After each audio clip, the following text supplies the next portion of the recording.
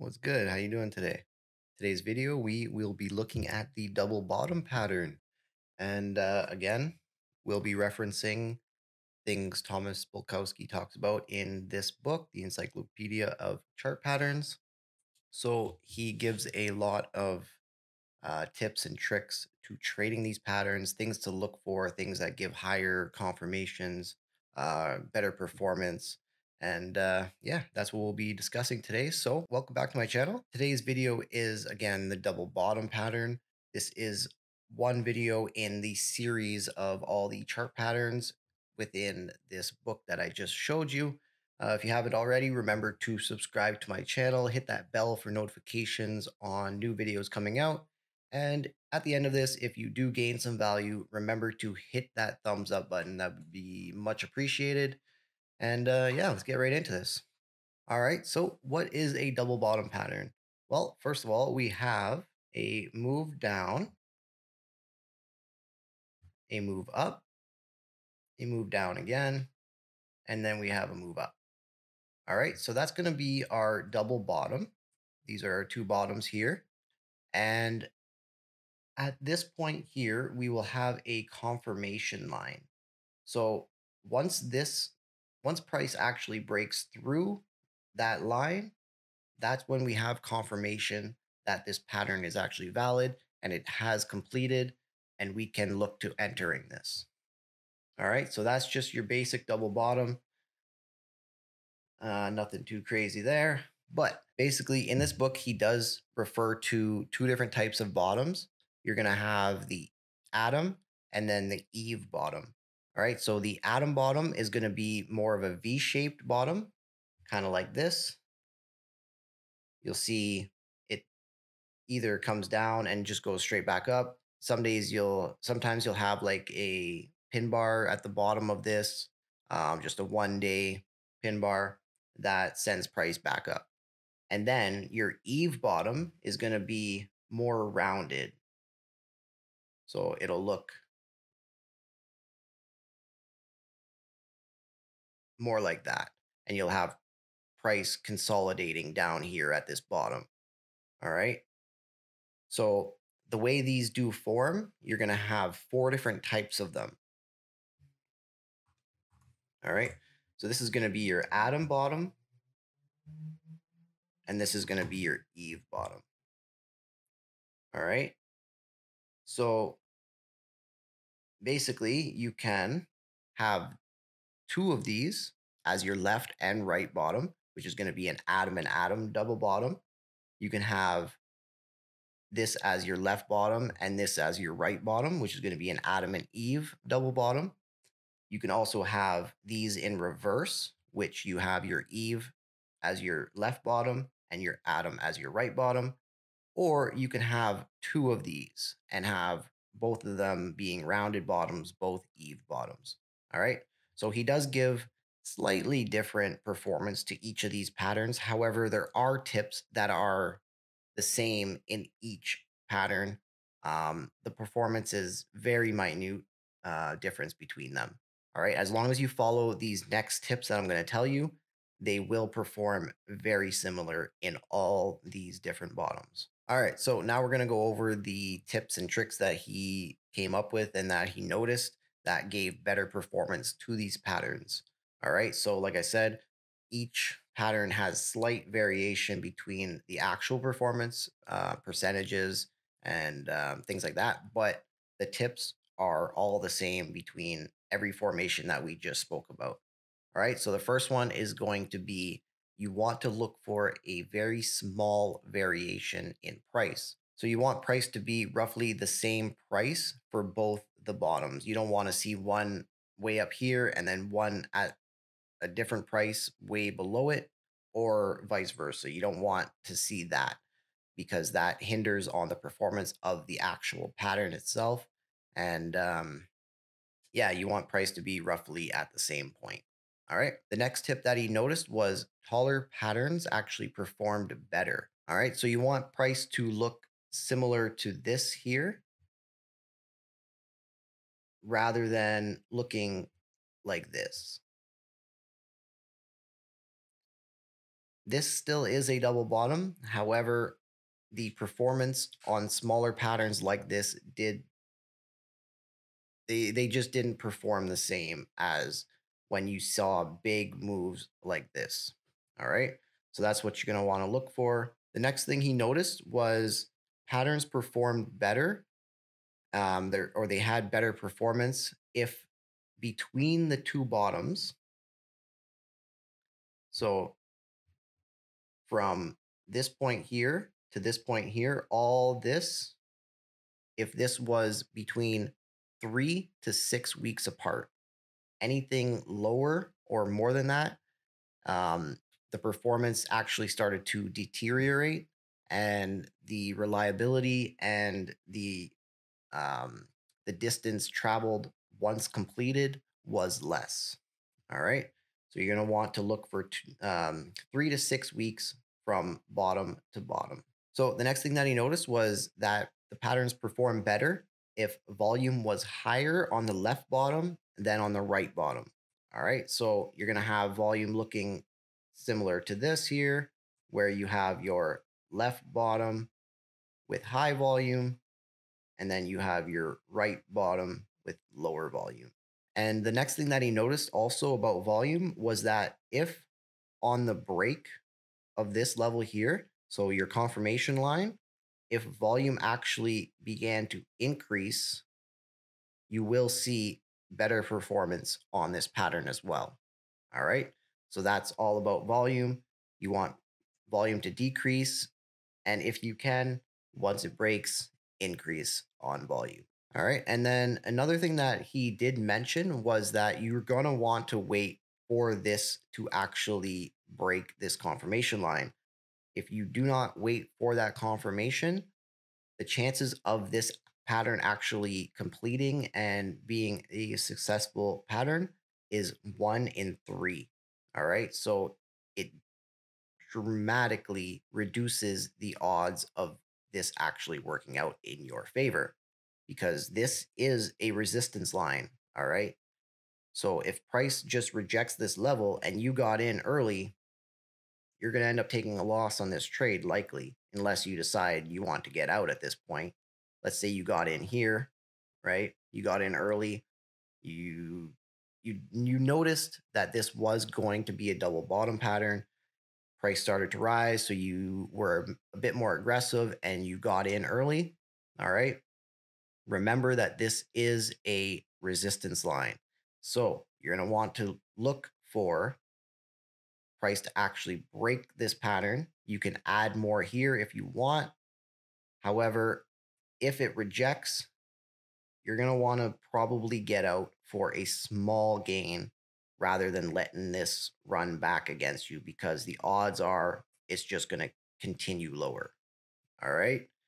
So if you want to be aggressive, that's up to you. However, you will get better performance if you wait for that break here. All right. Next thing we got to talk about is retraces. All right. So once price breaks that confirmation, two out of three times you will see price retrace back in and around where it broke from. All right. This happens two out of three times. So do not get uh, discouraged if price does come back against you and you got in on the break. All right. This happens quite often. However, you want to confirm that you do get another move up. You want a confirmation from this. All right. Because this is a reversal pattern. So price was in a downtrend. All right. You got to remember that price was in a downtrend. So it's very possible that it doesn't actually bounce from this level. All right. And it does break back through. And then you end up taking a loss on this trade. So you want to make sure that you get confirmation again here. And if you do, you can add again and ride this up even further with a larger position size on that trade because now you have a break here plus another confirmation. That's two confirmations. You got a high probable trade on this. All right. So if price on the retrace does actually break back through that confirmation line, what he noticed was that this is likely going to give up all the gains that you've gotten plus some. All right. So you're not going to want to hold on to this if it breaks back through this zone. If you longed it here, if you if you bought this and you were hoping it was going to go up and it if it just breaks back through, that was just a fake out and price is going to continue lower and that happened almost every time from what he mentioned in this book. So it gives back all those gains plus some. So if it fails here, take your loss, move on to the next one. All right, so let's say you did actually take this position long here and you are a more aggressive trader. Knowing that if it breaks back through this, the odds are that it will continue lower. You could take a small loss and actually short this, and the odds are very high that it will continue lower. All right. And that is something that he mentions in this book. It's not something that I'm just coming up with he did mention that aggressive traders can actually short this because the likelihood of this continuing lower, this just being a fake out, is actually very high. All right, so the final thing we're going to talk about before actually jumping into the charts is using the measure rule. All right, so what he mentions in the book is to grab the highest point between the two bottoms. All right, so that's going to be this point here and then go down to your lowest bottom. Could either be your left one, could be your right one. We're going to use the right one here in this example.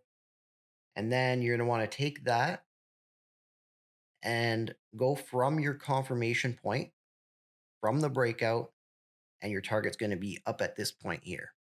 All right. So, whatever price does in between this, you're going to want to hold this and let it ride let it ride it out and let it do its thing. In a bull market, the odds of you hitting your target, um, their performance on this pattern is 66%. In a bear market, the performance on this has a win rate of 48%. So it's still not bad. Um, and I mean, if you have a risk to reward that is, this could be like a three to one, four to one. I mean, a 50% win rate on average, let's just say 55% maybe between bull and bear markets. With a four to one uh, risk to reward, you're doing pretty good. All right. So it is a very good pattern to trade. Um, but yeah, let's jump into the charts. All right. So this one here is going to be the Aussie dollar again on the daily chart, which is what he looks at in his book. Um, we do see this one I would consider an Adam and Adam bottom, as we do have more of a V shaped bottom. We'll look at um, one of the other ones next on the pound dollar. Uh, but yeah, so we have an Adam and Adam bottom, roughly the same price point for the closes this one did have a lower low, um, so it, it wicked down a little bit. But for the closing price, they're roughly the same. All right, so if we were to take this trade, what we would do, we would take the lowest point here, take our highest point between the two, and then we're going to want to wait for confirmation once it breaks this level here. All right. So that's going to be our highest point. We're going to want to wait for that to break. I mean, you could, I guess, if you wanted to draw a trend line here. And once it breaks that, if you're a little bit more aggressive, you can do that. But that's totally up to you. Based on his statistics here, you're going to want to wait for this to break. All right. However, let's play this through and see uh, see what happens. All right, so now we would have got in on this trade. On the close of this candle, aggressive trader would have got in on this one. All right, so now let's see how this actually plays out. So that did retrace a little bit. As you can see, it retraced back to that confirmation line that he discusses it didn't quite come back to this one here. So there would have been zero drawdown on this one. And do we get to our targets? We do. All right. So our target was in and around there roughly. Now let's look at our actual chart. Let's look at past data to see where this actually ran to. And as you can see, if you look left, we do have structure levels within here. And uh, yeah, now because of that, likely we will see price retrace, which it did. All right, so it hit those resistance levels. Well, these were support before, currently resistance. So we have resistance within this zone here, which it did retrace from. However, our target was within that point. We hit targets. We won on this trade. All right. One thing I didn't note earlier was the volume adding to the confirmation of this. So we had declining volume, higher volume on the left bottom, lower volume on the right bottom. All right. So we had a winning trade on the Aussie dollar for 365 pips. All right. Yes, we did have to wait. What was it? 42 days. However, this one you just let it run and um, yeah, you're good. You you came out with 360 pips. All right, so the next one we're going to look at is the pound dollar. And this one, as you can see, is an Eve bottom with an Adam bottom for your right. All right, so this is going to be an Eve and double bottom. As you can see, we have a rounded bottom here with multiple price points around there. And then we have a V bottom. All right. So this one here, our highest point between the two bottoms is going to be this level here. However, again, if you want to be more aggressive, you could look at the chart and confirm that we had support there right here. We had resistance, resistance, resistance, resistance.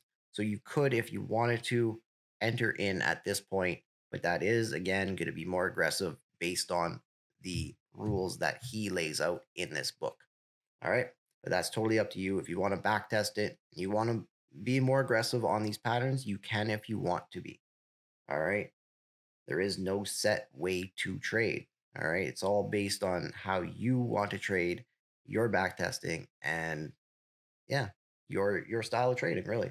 All right. So if we do take that highest point, we're gonna have price confirmation right here if it breaks. And our target's going to be up top in and around this level. As you can see, before price even gets to that point, we do have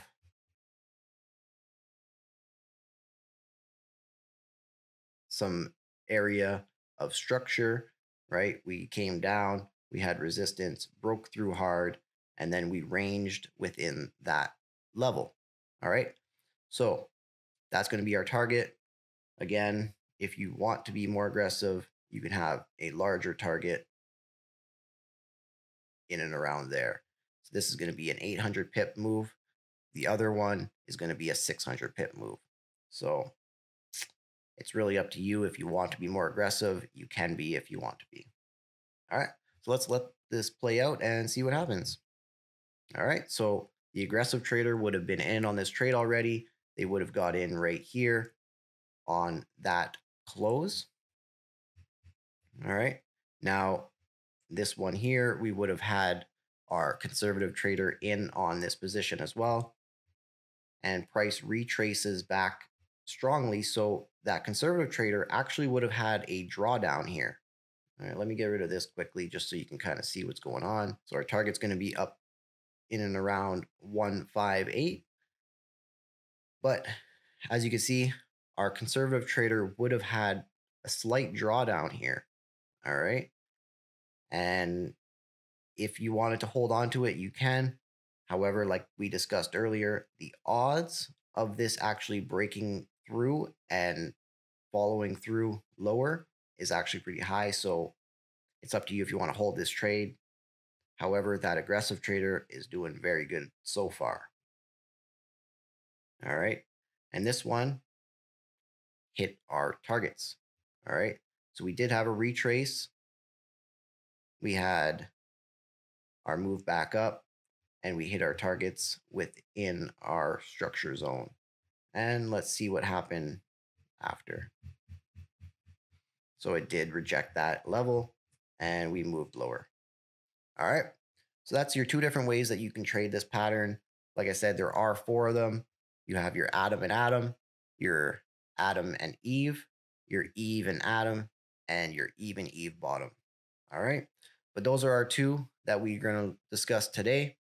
Um, but there you can trade them all the same. There is no difference between them, just the way they look on the chart.